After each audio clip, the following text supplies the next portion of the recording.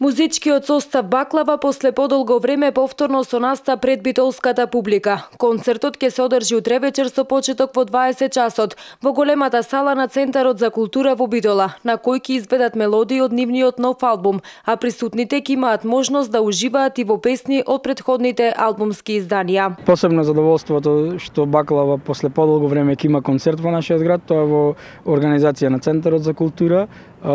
Пред извесен период има промоција на новиот сингл Рубин и новиот албум кој што го издадува, така да тоа ќе биде и дел од промоцијата на новиот албум на овој реномиран состав.